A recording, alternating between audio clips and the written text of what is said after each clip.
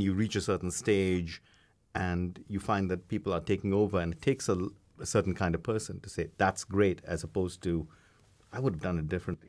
Right. And I struggled with that. I mean, honestly, when I think back a, a year or two ago, um, I think there were times when new people came in and they wanted to do something one way, and I said, oh, no, no, no, that's not the way we do it.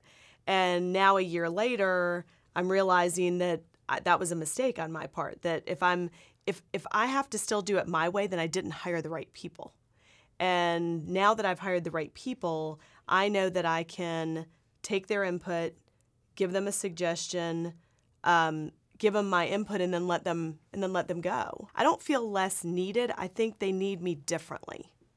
And before they needed you to make every decision, to be in every meeting so that your thoughts were part of the whole process. Now I feel like my team can sit in a room, they have my voice in their head, so they know a little bit about what I'm probably going to say. They can develop a perspective, run it by me, and in 15 minutes, I can give them sort of direction that before would have taken two hours of my time. But I'm, I'm not less needed. I think the need is still there, but my role is, is different and it allows them to grow. It allows me to grow. And it's it's honestly, if I don't do that, the company won't grow because I'm not scalable.